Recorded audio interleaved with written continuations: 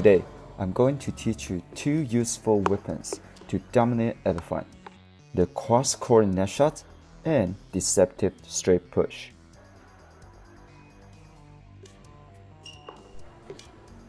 Backhand cross net shot tip number one. Make sure to hold the bevel grip when you hit the shot. If some of you don't know what is bevel grip, make sure check my other grip video after you watch this. Tip number two. Extend your arm.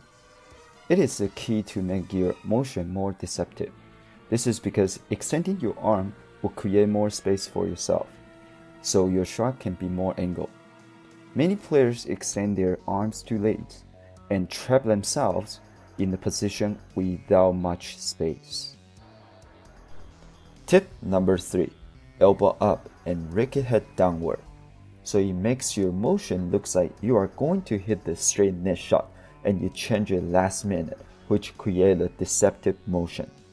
Tip number 4 Make sure you hit the shuttle on its side.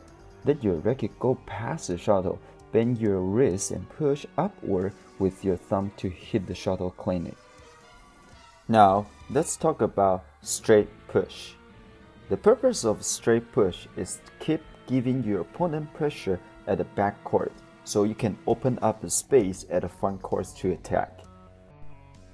The push shot also uses bevel grip just like a cross court net shot. The big difference is, is that you will hold longer before impact. Pull back on your wrist twister grip with your index finger so your bevel grip becomes thumb grip as you push forward. And most important, make sure to generate power by squeezing your grip. If you are first time watching my video, make sure click the subscribe button and notification bell. I'll see you next time.